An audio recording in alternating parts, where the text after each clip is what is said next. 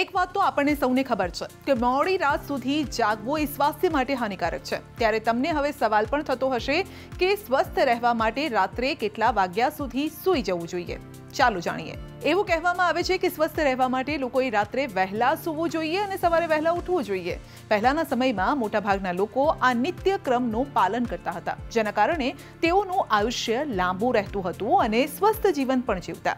આજના સમયમાં લોકોની જીવનશૈલીમાં ઘણો બદલાવ આવ્યો છે અને હવે લોકો મોડી રાત સુધી જાગતા રહે છે મોટી સંખ્યામાં લોકો આવી બિન આરોગ્યપ્રદ પ્રથાઓને અનુસરી પણ રહ્યા છે અને જેના કારણે પોર્ટી ઉંગ લઈ શકતા નથી અને નો શારીરિક અને માનસિક સ્વાસ્થ્ય બગડી રહ્યું છે આજે અમે તમને જણાવીશું કે રાત્રે કયા સમયે સુવું સ્વાસ્થ્ય માટે ફાયદાકારક છે એક રિપોર્ટ અનુસાર વર્ષ 2021 માં આ અંગે એક રિસર્ચ પણ કરવામાં આવ્યો ને જેમાં કહેવામાં આવ્યું કે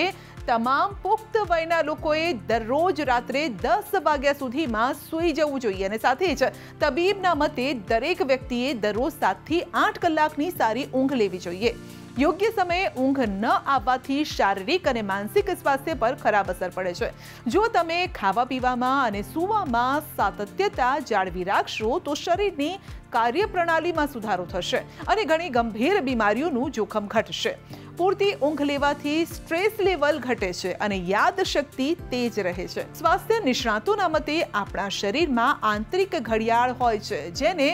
सर्केडियन रिदम कहવામાં આવે છે અને આ ઘડિયાળ આપણા શરીરને સુવા થી લઈ જાગવા સુધીના ખાવા પીવા સુધીનો યોગ્ય સમય પણ સૂચવે છે તો સર્કેડિયન રિધમ તમારી આંખને પણ નિયંત્રિત કરે છે સૂર્યાસ્ત થાય પછી અંધારું થઈ જાય છે અને આ સમય દરમિયાન સર્કેડિયન ритમ તમારા મગજને સંકેત મોકલે છે કે સુવાનો સમય થઈ ગયો છે જે લોકો મોડી રાત સુધી जागे તો સર્કેડિયન ритમ ખરવાય જાય છે નાનાથી એકંદરે સ્વાસ્થ્ય પર ખરાબ અસર પડે છે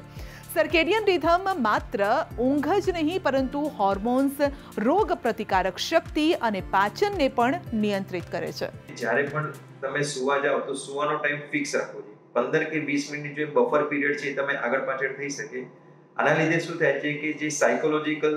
ક્લોક છે જેને સરકારી રિધમ કહેવાય છે તે આપણું માઇન્ડસેટ એવું સેટ થાય છે અને જ્યારે એ સમયગાળો આવે ત્યારે ધીરે ધીરે કુદરતી ઊંઘ આવવાની આપણે ચાલુ થઈ જાય બીજી વસ્તુ કે દિવસ દરમિયાન રાત્રે સાત વાગ્યા પછી કોઈ પણ પ્રકારના નશીલા માદક પદાર્થનું સેવન તમારે ટાળવું જોઈએ જેમાં ચા કે ચાનું વ્યસન કોફી રેડબુલ એનર્જી ડ્રિંક્સ અથવા તો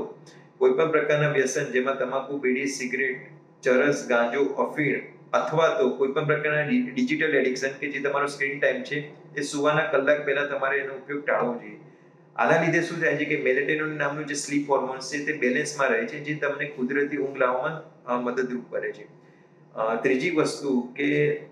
જમ્યા પછી લગભગ તમારે નોર્મલ પ્રકારની કોઈ પણ પ્રકારની ફિઝિકલી એક્ટિવિટી કરવી જોઈએ જેના લીધે ચયાપચયની ક્રિયા છે તે નોર્મલ બને છે અને ગેસની સમસ્યાના લીધે તમને રાત્રે જે નોર્મલ ઊંઘ આવવામાં છે તેમાં તમને ખલેલ નથી પહોંચતી બીજી વસ્તુ છે કે સાંજે જમ્યા પછી નોર્મલ તમે હળવી કસરત એક્ટિવિટી કરી શકો છો જેમાં યોગા પ્રાણાયામ સ્ટેચિંગ એક્સરસાઇઝ અથવા તો ખાલી કોઈ રૂમ હોય તેમાં નોર્મલ તમે આટા મારી શકો અથવા તો વીસ કે પચીસ મિનિટ તમે બ્રીસ વોક કરી શકો સીડી ચડ ઉતર કરી શકો આ ફિઝિકલ એક્ટિવિટીથી શું થાય છે કે શરીરમાં